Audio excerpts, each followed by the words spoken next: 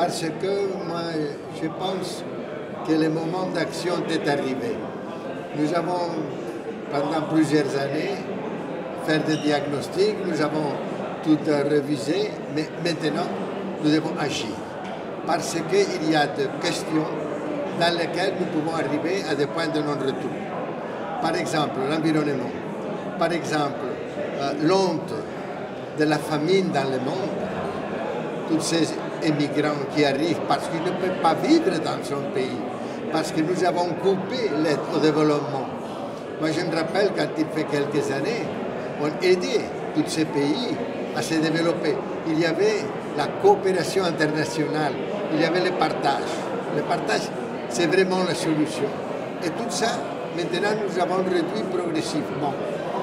Euh, le néolibéralisme a été très mauvais parce qu'il a laissé au lieu de Nations Unies, il a progressivement passé le pouvoir à groupe plutocratique de 6, 7, 8, 20 pays qui mènent le jeu au nom de l'humanité tout entière. Nous sommes 193 pays.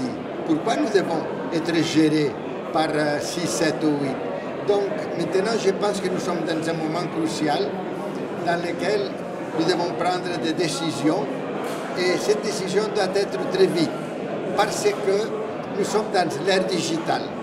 Pour la première fois dans l'histoire, tout le monde peut s'exprimer.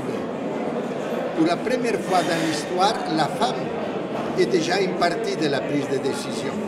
La femme n'avait rien à faire. Euh, quand j'avais 30, 40, 50 ans, la femme n'existait pas. Aujourd'hui, heureusement, la femme commence à être là avec les propriétés inhérentes à la condition des femmes. Et finalement, nous avons une conscience globale.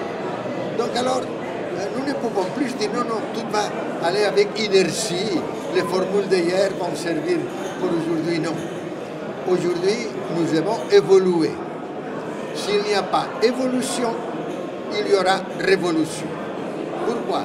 Parce que tout le monde peut déjà s'exprimer.